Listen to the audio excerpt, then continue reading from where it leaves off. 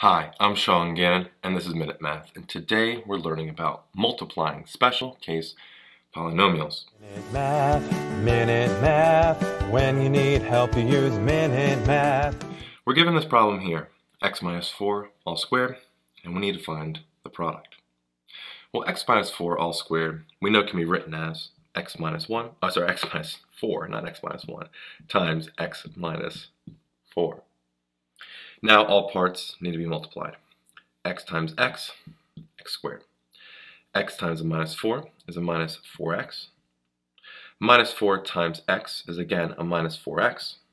And minus 4 times a minus 4, well, that's a positive, right? Two negatives make a positive. Positive 16. So now we're left with x squared minus 4x minus 4x plus 16.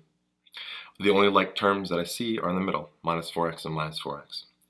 Together, they're combined to be minus 8x. We add them together, bring down the rest, and we get our final answer, x squared minus 8x plus 16.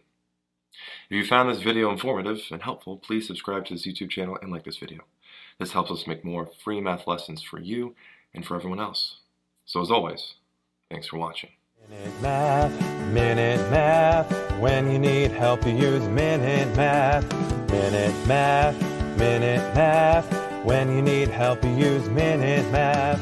MinuteMathTutor.com.